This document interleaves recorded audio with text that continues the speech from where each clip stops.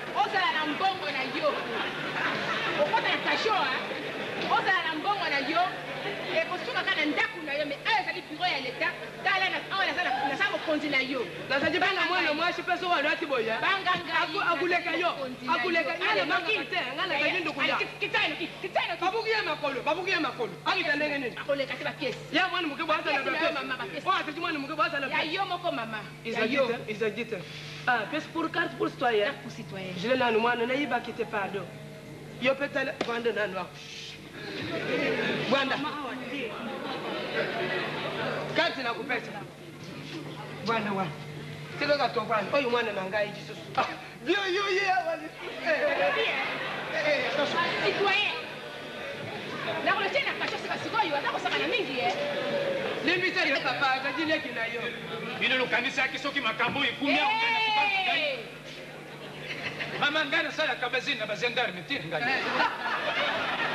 ekosuka awa te nayebisa bino lopangu ya ngai nazali ndiku ya nayibani palasi nionso ngai na ba mesu bakobimisa lokola maki ya mabata. Bokosomba lopango mokolo nini? Lokumu na mpasi boye nakofutila.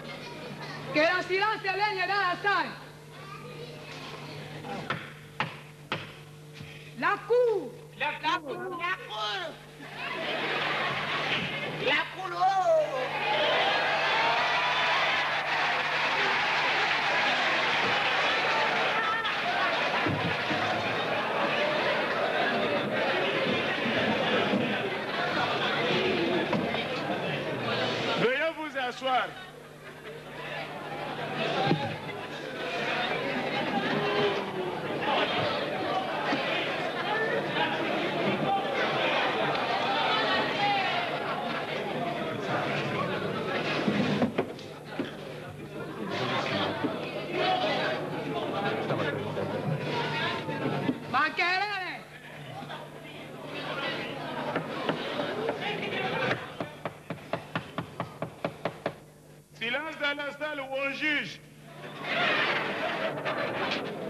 Bien. Nous sommes au tribunal de paix et Panzamakita. Notre procès sera conduit par la citoyenne loi comme greffier. Le ministère public, le citoyen Mambrikoko et Bwelebweli, Zuma. Les juges et président, Le citoyen Ngalula. Le tribunal.